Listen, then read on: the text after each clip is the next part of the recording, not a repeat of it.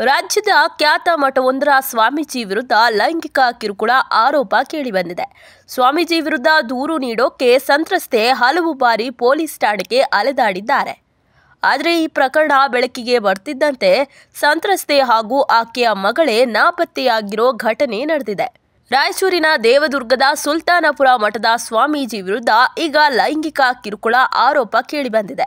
ಸ್ವಾಮೀಜಿ ಶ್ರೀ ಶಂಭು ಸೋಮನಾಥ ಶಿವಾಚಾರ್ಯ ಸ್ವಾಮೀಜಿ ವಿರುದ್ಧ ಮಹಿಳೆಯೊಬ್ಬರು ದೂರನ್ನ ಕೊಡಲು ಕಳೆದ ಆರು ತಿಂಗಳಿಂದಲೂ ಪೊಲೀಸ್ ಠಾಣೆಗೆ ಅಲೆದಾಡ್ತಿದ್ರಂತೆ.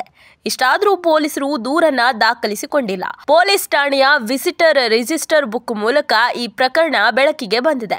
ಆದರೆ ಈ ವಿಚಾರ ಯಾವಾಗ ಬಹಿರಂಗವಾಯಿತೋ ಆಗಿನಿಂದ ಮಹಿಳೆ ಹಾಗೂ ಆಕೆಯ ಮಗಳು ಯಾರ ಸಂಪರ್ಕಕ್ಕೂ ಸಿಕ್ಕಿಲ್ಲ. ಸುಲ್ತಾನಪುರ ಮಠದಲ್ಲಿ ಕಳೆದ ಆರು ತಿಂಗಳಿಂದ ಸಂತ್ರಸ್ತ ಮಹಿಳೆ ಮತ್ತು ಆಕೆಯ ಮಗಳು ಕೆಲಸ ಮಾಡ್ತಿದ್ರಂತೆ.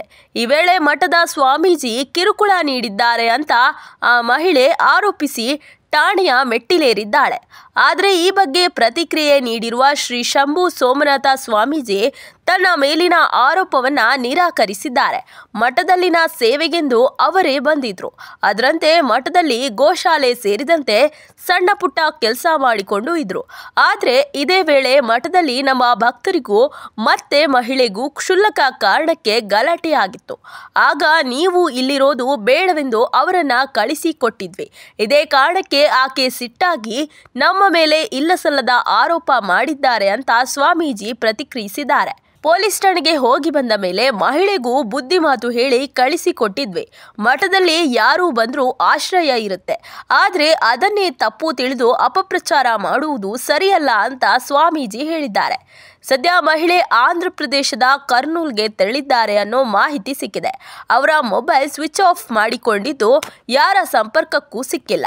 ಮಹಿಳೆ ಪೊಲೀಸ್ ಠಾಣೆಯಲ್ಲಿ ಅಧಿಕೃತವಾಗಿ ದೂರು ನೀಡಿದ ಮಾಹಿತಿ ಕೂಡ ಸಿಕ್ಕಿಲ್ಲ. ಆದರೆ ಸ್ವಾಮೀಜಿ ವಿರುದ್ಧ ದೂರು ನೀಡಲು ಬಂದಿದ್ದೇನೆ ಅಂತ ಹೇಳಿಕೊಂಡಿರೋದು ಸಾಕಷ್ಟು ಅನುಮಾನಗಳಿಗೆ ಕಾರಣವಾಗಿದೆ.